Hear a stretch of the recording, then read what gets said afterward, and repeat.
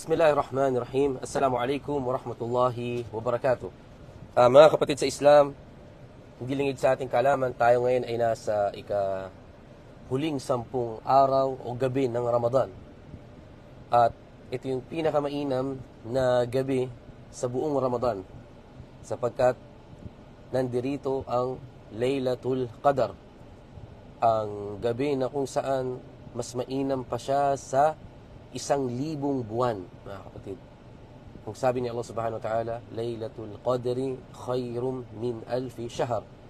Ang gabi ng Laylatul Qadar, yung gabi na ito, ah, mas mainam pa siya sa isang libong buwan. Hindi lingid sa ating kaalaman, mga kapatid, si Propeta Muhammad, sumakanyang kapayapaan, ay nagsabi na ang buhay ng kanyang umma, tayo po, ang karamihan sa mga tao, umaabot lamang ang kanyang edad mula 60 hanggang 70. Ito yung buhay na binigay na sinabi ni Propeta Muhammad sallallahu alaihi wasallam na ang karamihan sa mga tao ay umaabot ng ganitong edad. At mga kapatid, hindi ibig sabihin na sinabi ito ni Propeta Muhammad sallallahu alaihi wasallam, wala nang tao na lumalagpas 70. Hindi. May mga tao na lumalagpas ng 70, 80, 90, hanggang 100 pa nga. Ngunit ang karamihan, ang sabi ni Propeta Muhammad wasallam, ang karamihan sa mga tao, ah, hanggang dito ang kanilang edad, mula 60 hanggang 70. Isipin mo kap- isipin po natin no, mga kapatid sa Islam, kapag ang tao naabutan niya ang gabi ng Laylatul Qadar, naabutan niya ito. Ibig sabihin, ang Laylatul Qadar mas mainam pa sa isang libong buwan.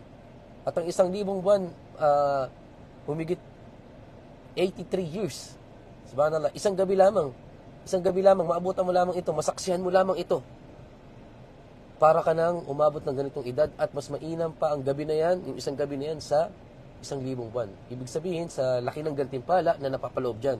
At si Propeta Muhammad SAW, pinayuhan niya ang mga sahaba, ang kanyang mga kasamahan, na magsumikap, maabutan, madatnan ang gabi ng Laylatul Qadar. Mga kapatid sa Islam, ah, magbibigay po ako sa inyo ng payo ngayong huling sampung araw ng Ramadan na kung saan ito ay makakatulong sa atin kung paano tayo sisigla sa ating mga pagsamba sa ating mga ibada. Ang una po rito ay ang ikhlas kay Allah subhanahu wa ta'ala. Ang ibig sabihin ng ikhlas, ito po yung dalisay na ang lahat ng ating pagsamba na ginagawa ay tanging kay Allah lamang.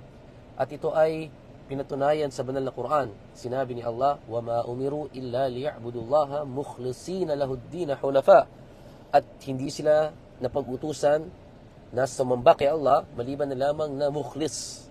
Mga mukhlis sila, mga dalisay ang kanilang mga puso. Malilinis ang kanilang mga puso na kung saan ang pagsamba na kanilang ginagawa ay tanging kay Allah lamang. Hindi pakitang tao o hindi para sa direktor, hindi para sa presidente o sa mahari, sa makatuwid, para kay Allah. Hindi pansariling, hindi sa pansariling interes. Dahil may mga tao na sumasamba sila, ah, gumagawa ng kabutihan, ngunit ang gusto nila ay pakitang tao, o di kaya meron silang personal na pangailangan sa mga tao kung bakit siya gumagawa ng pagsamba kay Allah. Sa Islam, ang pangunahing bagay na dapat taglayin ng isang Muslim ngayong huling sampung araw ng Ramadan, ang ikhlas. Ang bawat pagsamba mo, kailangan ikhlas kay Allah subhanahu wa ta'ala. At kabilang sa mga kondisyon upang matanggap ang ating mga gawa, ang ikhlas, mga kapatid. Ito yung dalisay na pagsamba kay Allah subhanahu wa ta'ala. Yan po yung una. Pangalawang payo po ay ang al-himma. Ang ibig sabihin ng himma, ito yung magkaroon ka ng himma, mithiin, o kaya mataas na pangarap. Mataas na pangarap. Ano ba yung gusto mo? Ang halimbawa nito, gusto mong matapos ang Quran, basahin, basahin ang Quran. Gusto mong tapusin ang Quran, ikhatam, ng ilang beses. Gusto mong magtahajud gabi-gabi. Gusto mong mag magbigay ng sadaka, magpakain sa mga tao, mag-umrah. Mga kapatid sa Islam, alam niyo po ba na kapag gumawa ka gabi-gabi, itong last 10 days, payo sa akin ito at sa inyo sarili, sa bawat gabi ng Laylatul Qadar, mga kapatid, sa bawat gabi ng Laylatul Qadar, halimbawa kagabi, at ngayon, bawat gabi, gumawa ka ng kabutihan. Magbasa ka ng Quran, at kapag maabutan mo yung Laylatul Qadar, ililista sa iyo buong yung isang libong buwan na ikaw ay nagbabasa ng Quran. Subhanallah, yan yung katim- gantimpala niya. Naging mabuti ka sa iyong nanay. mabuti ka sa iyong asawa, naging mabuti ka sa mga tao, nagpakain ka, nagbigay ka ng sadaka, ililista sa iyan na mas mainam pa sa isang libong buwan. Hindi sinabi na katumbas ay isang na isang libong buwan ang Lailatul Qadar. Hindi. Mas mainam pa, mas mabuti sa isang libong buwan. Mga kapatid, napakalaki ng reward. Kaya wag po tayo maging tamad. Maging madama tayo sa oras, mga kapatid, ngayong last 10 days ng Ramadan. Si Rabi'a uh, bin Ka'ab al-Aslami, yung bata na ito, mga kapatid, no, tingnan niyo yung layunin niya, yung pangarap niya sa kanyang buhay. Kanyang sinabi, Kuntu abitu ma'a Rasulullah sallallahu alaihi wasallam, fa'ataituhu biwadu'ihi wa hajatihi. Kumbaga si Rabi'a, yung bata na ito, mga kapatid, ito yung ituro nyo sa inyong mga anak, sa inyong mga kapatid na bata. Si Rabi'a bin Ka'ab. Siya yung natutulog minsan kasama si Propeta Muhammad sallallahu alaihi wasallam kasi bata pa siya. Tapos, ang ginagawa niya, yung trabaho niya, siya ay nagbibigay ng tubig kay Propeta Muhammad sallallahu alaihi wasallam, yung tabo na may tubig na kung saan ginagamit ni Propeta Muhammad para sa kanyang pagsasala ng tahajjud, sala ng salatul fajar, kumbaga ginagamit niya pang wudu o pag-ablution. Sapagkat ang mga Muslim, sa mga kababayan po namin hindi Muslim, uh, naghuhugas po kami ng kamay, ng muka, ng paa, yung tinatawag na ablution bago magdasal. Ito yung trabaho ni Rabi'ah. Lagi niya itong lagi niya binibigyan si Propeta Muhammad sallallahu alaihi wasallam ng tubig na nakalagay sa tabo. Hanggat gusto siyang gantihan ni Propeta Muhammad sa kanyang kapayapaan. Gusto siyang gantihan. At sinabi sa kanya, faqala li sal. Humiling ka sa akin, o Rabi'ah. Humiling ka sa akin kasi ang kahilingan ng mga propeta, ang dua ng mga propeta ay tinatanggap ni Allah. Ang dua ng mga propeta ay tinatanggap ni Allah. Ngayon, napatahimik siya ng konti.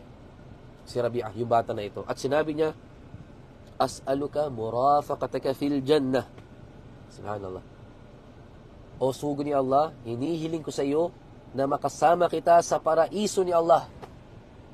Napakalaking ano to, kahilingan, napakabigat na kahilingan. At sinabi ni Propeta Muhammad sallallahu alaihi wasallam, "Aw ghayra dalik." Kumbaga, maghanap ka o mag-isip ka ng ibang kahilingan. Bakit mga kapatid? Dahil si Rabi'a, mahirap lamang siya na bata. Mahirap siya na bata. Kumbaga, wala siyang sariling bahay, wala siyang sariling tirahan, wala siyang negosyo, Sabihin, sa madaling salita, pobre siya. Pobre siya. Napakahirap niya. Kabilang siya sa mga tao na natutulog sa masjid. At ngayon, si Propeta Muhammad sa kanyang kapayapaan, ang akala niya, baka gustong humiling ni Rabi'a ng bahay o ng kayamanan, mapabilang siya sa mga tao na may posisyon sa buhay. Kaya sinabi ni Propeta Muhammad sa kanyang kapayapaan, humiling ka sa akin at ibibigay ko sa iyo. Ngunit lahat ng makamunduang bagay tinanggihan ni Rabi'a. Hindi, hindi kagad sumagi sa isipan niya ang sumagi sa isipan niya, O sugo ni Allah, hinihiling ko sa iyo na makasama kita sa paraiso. Ang sagot ni Propeta Muhammad sallallahu alaihi sa kanyang kapayapaan, maliban doon. Bakit? Ba't sinabi ni Propeta Muhammad na humiling ka ng iba? Dahil napakabigat, mga kapatid, ang na kahilingan yun. Ang makasama si Propeta Muhammad sa kapayapaan sa paraiso, ito ay napakabigat. Kailangan ng pagsisipag, pagtsatsaga, pagtitiis sa mundo magparami ng kabutihan, maging mabuting Muslim, sumasampalataya kay Allah, sumunod sa mga kautusan ni Allah at lumayo sa kanyang mga pinagbabawal upang makasama mo si Propeta Muhammad, sumakanya ang kapayapaan sa paraiso ni Allah.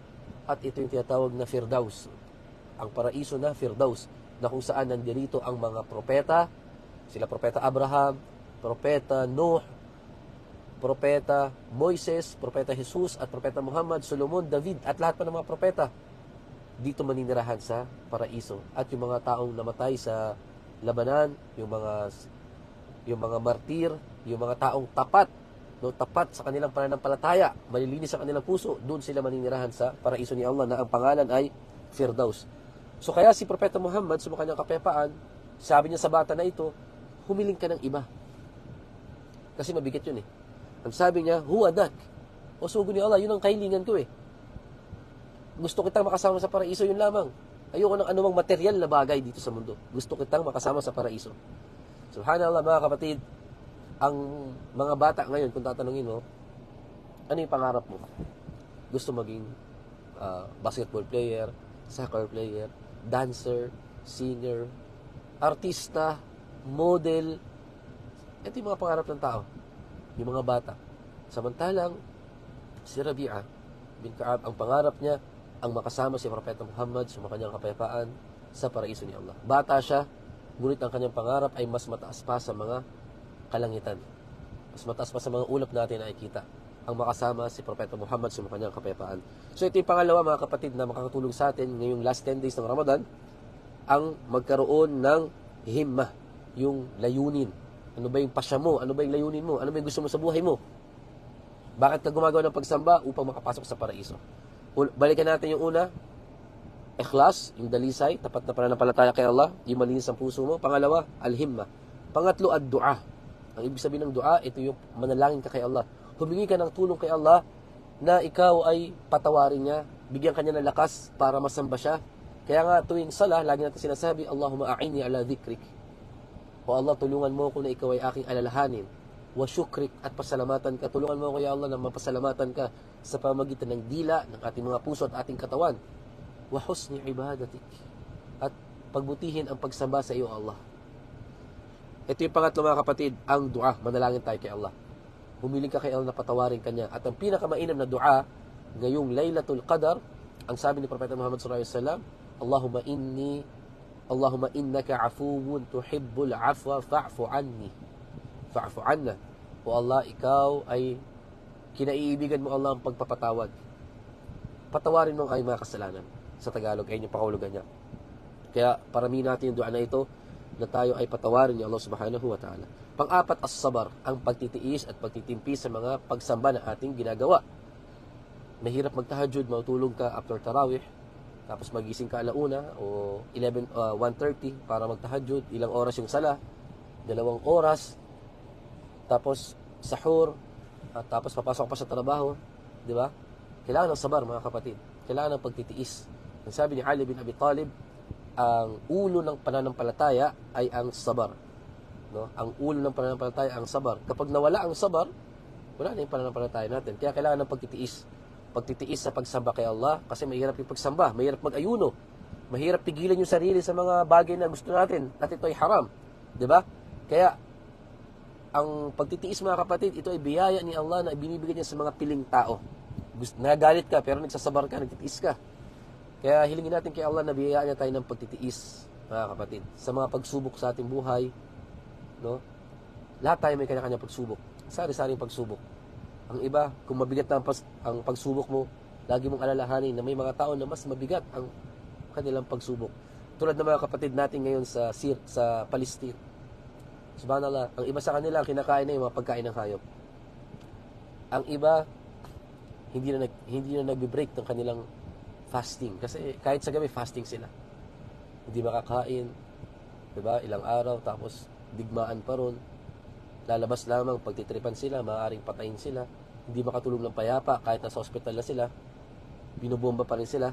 So ang point natin dito mga kapatid, kapag puno ka ng problema sa mundo, alalahanin mo yung mga kapatid natin sa Palestine, mas mahirap ang kanilang buhay. Hindi lamang yun. Yung mga kapatid natin sa China, yung mga Turkistan o yung mga Uyghur, isipin nyo mga kapatid, yung mga anak nila, yung mga bata, kinukuha ng government. Hindi naman lahat, pero ang, iba, ang ibang pamilya doon, kinukuha ang kanilang mga anak kapag kasi sa China, bilang lamang yung pagkakaroon ng anak. Kapag lumagpas ka sa limitasyon, kung ako nagkakamali, tatlo, Allahu alam, nakalimutan ko. Pero kapag madami kang anak, kukunin lang anak mo. Tapos, may isang malaking compound sa China, doon nila dadalhin ang anak mo. Yung anak ng mga Muslim, no? Anak ng mga Muslim. Tapos, tuturuan ng kultura ng mga Incheck, para paano maging komunista, hindi na sila Muslim. Kumaga, ang kanilang salita, ang kanilang tribo ng Uyghur, kakalimutan. Subhanallah anak mo kukunin harap-harapan. Pupwersahin ko yung anak mo. Di ba? Mabigat to. Eh sa Palestine, yung mga anak nila, alam nila kapag namatay yung anak nila, alam nila, alhamdulillah nakita nila. Eh dun sa, ano, sa China, yung mga Uyghur, hindi alam kung buhay pa ba ang anak nila. Pinapakain ng baboy, nilalayo sa kanila. Kahit i-research yung mga kapatid, no, yung Uyghur Muslim sa China. Uyghur. Kawawa sila So, ang sabi ng mga estudyante na Uyghur na nandiretso sa Saudi Arabia at iba na sa Turkey, mas mahirap ang kanilang kalagayan kaysa sa Palestine, sa Syria, sa Iraq. Dahil sa ginagawa sa kanila ng gobyerno ng China. Yan ang totoo. Ano yung sabi nila? Mahirap ang buhay doon. Yung masjid ginagawang babuyan. Kahit i-research yung mismo mga kapatid, i-research ninyo sa YouTube yung kalagayan ng mga Uyghur na Muslim. I-research nyo. Kayo mismo yung, ano, yung tutuklas sa gawain nila. So, kailangan ng pagtitiis, pagsasabar. Kung nahihirapan ka sa buhay mo, wala kang makain, walang mapadala sa Pilipinas, isipin mo na mayroong mas mahirap sa iyo, kapatid. Ang sabi ni Propeta Muhammad sallallahu alaihi wasallam, la tanzuru ila man fawqikum. Huwag niyong titignan yung mga taong angat sa inyo, nasa taas ninyo. Tignan yung nasa baba ninyo. Wala kang tsinelas, wala kang pambilang tsinelas, tignan mo yung mga tao na walang paa. Yung mga hindi nakakalakad. Ikaw nakakahinga, tignan mo yung mga tao na hindi nakakahinga. Hirap huminga. Hirap magsalita. Biyaya ni Allah subhanahu wa ta'ala. Kaya magsabar tayo mga kapatid, magtiis tayo. Ito ang uh, pang-apat na payo, yung pagsasabar. Panglima, kisarul amal. Ang ibig sabihin ng kisarul amal, ito yung uh, papakontuin mo ang iyong mga pangarap sa mundo. Halimbawa, gusto mo makapunta sa lugar na ito, gusto mo makapasyal, gusto mo magkaroon ng maraming sakyan, gusto mong yumaman, gusto mo makapag-asawa ng dalawa, gusto mo magkaroon ng maraming anak, mga bahay, hasyenda, wag mong masyadong paramihin ang iyong pangarap. Kuntiin mo. Kumbaga, isipin mo na ito na yung huling Ramadan mo para maging mabuti ang pagsamba mo kay Allah. Para, tum- para maging masipag ka, maging matyaga ka, sa sala hindi ka nalilate, nagpapakain ka, may sahod ka, nagpapakain ka, nagpapa-iftar ka. Iniisip mo palagi na ito na yung huling Ramadan mo. Kaya mga kapatid, yung pag-iisip na ito na yung huling Ramadan natin, napakalaking bagay ito para pagbutihin natin ang ating mga gawa ngayong last 10 days ng Ramadan. Pang-anim, istisyaru zaman wal makan. Yung damdamin mo, ha? Damdamin mo ang Ramadan, ang pag-aayuno. At kapag ikaw ay nasa Makkah, damdamin mo na ikaw ay nasa Makkah. Yung mga kapatiran natin na nakapag-umrah, galing Pilipinas, at yung mga nasa Saudi na pumunta roon, nasa gitnang silangan, nasa Dubai, nasa Qatar na pumunta ng Makkah at Madina, damdamin mo na ikaw ay nasa dakilang buwan, buwan ng Ramadan, at ikaw ay nasa dakilang lugar. Ikaw ay nasa masjid. Kailangan dinadamdam ang pagsamba kay Allah subhanahu wa ta'ala. Pang, ah, pang, pang pito, kathratu al-ibadah wa tanawu'iha. Ang pagpaparami ng mga uh, kabutihan na ginagawa, pagsamba kay Allah. Andito yung pagbasa ng Quran, pagsasala, pagdidikir, paghingi ng kapatawaran kay Allah, pagtulong sa mga may hirap, pagbibigay ng sadaka, ng zaka, pagpapakain, o anumang kabutihan yan, lahat ng uri ng kabutihan, gawin mo kapatid. Da'wa, pagtuturo, pagbabawal na masama, gawin mo. Gumawa ka ng sari-saring kabutihan ngayong buwan ng Ramadan. Lalo na yung pagdidikir kay Allah, na napakasimple lamang yung pag-aalala kay Allah. Magsabi ka lamang, magsasabi ka lamang ng Alhamdulillah, Allahu Akbar, La ilaha illallah wahdahu la syarika la lahul mulk wa lahul hamdu wa ala kulli syai'in qadir. Yung mga dikir sa umaga, sa gabi, sa hapon, napakarami mga kapatid. Paramihin natin yung paggawa ng sari-sari kabutihan. Iba-ibang kabutihan. Mag, kung kaya mag-umrah, mag-umrah ka ngayong buwan ng Ramadan. At pangwalo, lalo na yung pag, ano no, sa ashar, ibig sabihin ashar yung bago mag-fajar, yung ikatlong gabi, magsala ka ng tahajjud dyan. At mag-istighfar ka Humingi ka ng kapatawaran kay Allah. Humingi ka ng kapatawaran kay Allah. Magbalik loob kay Allah. Magsisi sa mga nagawang kasalanan. Bago ang Fajar. Wal mustaghfirina bil ashar, ang sabi ni Allah. Yung mga humingi ng kapatawaran kay Allah sa oras na yan. Ng oras ng sahur. Kaya mga kapatid, parami po natin yung pag-istighfar sa oras na yan. Yung oras ng sahur. At pangwalo, mga kapatid,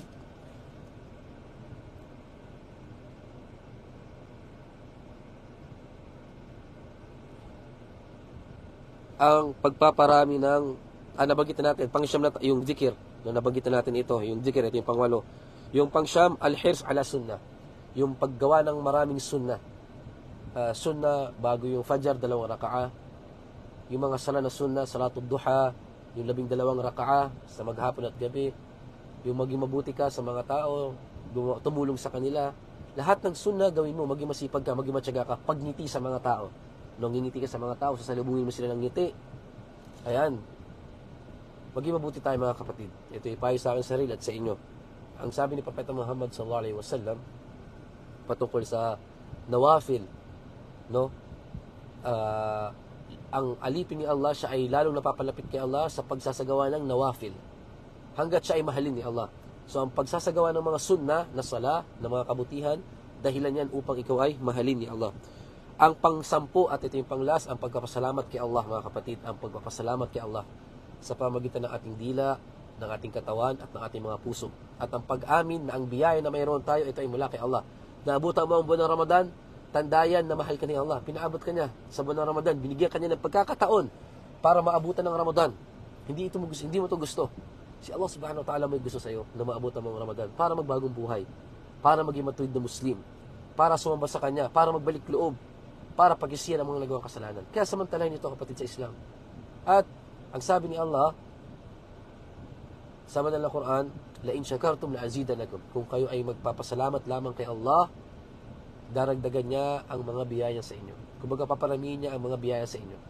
So, kapag may biyaya tayo, magpasalamat tayo kay Allah. At ang pinakamalaking biyaya sa atin ni Allah ay ang Islam. Ang Islam. Ang iman. Isipin mo kapatid, no, kung wala sa iyong Islam, para kang hayop dito sa mundo na walang direksyon ng buhay. Kakain kung kailan gusto kakain. Matutulog kung kailan gusto matulog. Magdadasal kung kailan gusto magdasal. Walang limitasyon. Kung baga malaya ka sa ginagawa mo, wala kang pakialam kung bawal ba ang ginagawa mo o hindi. Lalo yung mga balik Islam, tanongin niyo sila. Nung sila'y nag-Muslim, nagkaroon ng direksyon ng kanilang buhay.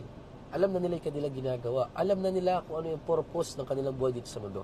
Kaya ang pinakamalaking biyaya sa atin ni Allah, mga kapatid, ay ang Islam. Ako, bilang isang balik Islam, kung ang akalang iba ang biyaya sa akin ni Allah na napakalaki, yung marunong ako magbasa ng Quran, marunong basa ng Arabic, uh, nag-memorize ng Quran, naka, kumbaga naka, nag-aaral sa Islam, ang at nagdadawa nagtuturo, ang akalang iba, biyaya ito ni Allah. Parte lamang ito, bahagi ito ng biyaya ni Allah. Ang pinakamalaking biyaya sa atin ni Allah, mga kapatid, wallahi ang Islam. Islam ang pinakamalaking biyaya sa atin ni Allah. Kung wala sa atin ang Islam, kung ano yung ginagawa ng ibang tao, ginagawa rin natin. Yung walang direksyon ng buhay, kakain, walang, hindi na tinatanong kung ano yung pagkain. Inom ng alak, pupunta sa mga disco, sa mga bar, sa mga lugar na haram, matutulog lamang, kakain, eh parang hayop nga. Yan ang sabi sa mga Quran eh. Yung mga tao na kain tulog lamang, trabaho, walang pagdarasal, walang pagsamba, para silang mga hayop. Pero ang Muslim, may direksyon ng kanyang buhay, alam niya ang kanyang ginagawa.